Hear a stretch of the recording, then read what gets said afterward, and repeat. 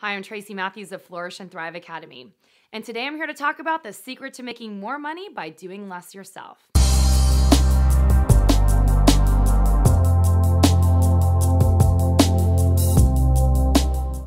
Okay, right about now, you're probably thinking, I have no idea what you're talking about.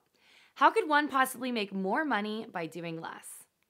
Over the past several years, I've come up against several roadblocks that you might be able to relate to. For years, I had a team of designers and support for Tracy Matthews Designs. When I started over, I was going back to basics and doing everything dealing with customer support, sales, designing, shipping, and all of my website updates, etc., and just about everything else in between.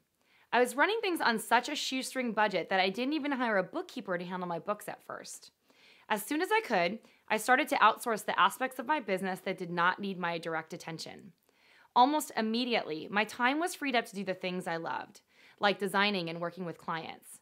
Step by step, I added more people to my team, including Peter, who's been working with me for the past five years for the most part. I feel like I've spent a lot of time trying to convince designers in the Flourish and Thrive community to start outsourcing parts of their business, but they resist like crazy. Yes, there is a monetary component involved. You have to take on an added expense. But for those of you who remain unconvinced, let me offer one final plea before I get to the core of this video.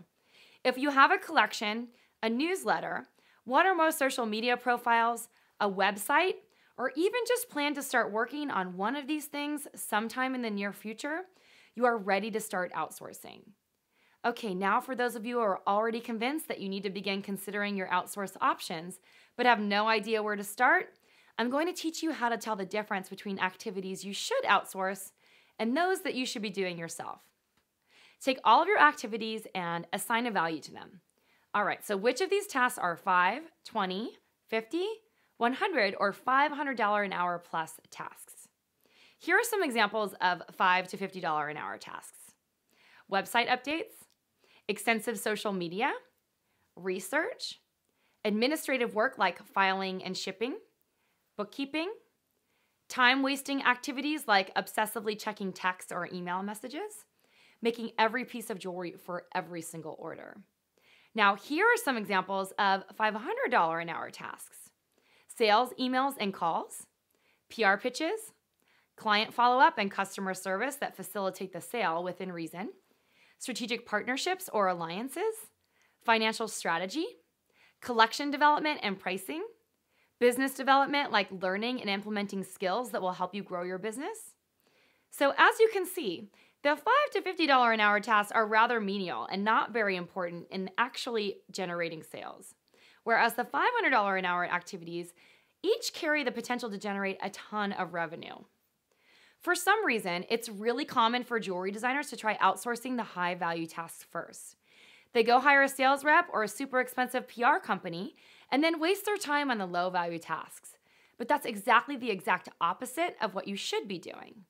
Get an assistant who can help manage your website and post to social media. They're everywhere, I promise. So you can focus on bringing in the big bucks. And as a final note, eventually you may choose to outsource some of those $500 an hour tasks.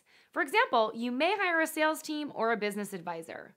But keep in mind there are a few skills that you have that you absolutely cannot be replicated these include your design intuition, your story and your personality, and your vision for your brand. These are all things that make your business your business and should never be outsourced. Now, we want to hear from you. In the comments below, tell us the following Have you started outsourcing yet? And what tasks can you outsource so you can focus on generating revenue? If you found this video useful, make sure you like the video, follow our channel, and share it with your friends. Then pop on over to flourishthriveacademy.com for more jewelry business advice and free training. And if you want to learn more about creating freedom and revenue for your business, make sure you join us for our free training series called From Overwhelm to Freedom. Click the link below this video to enroll.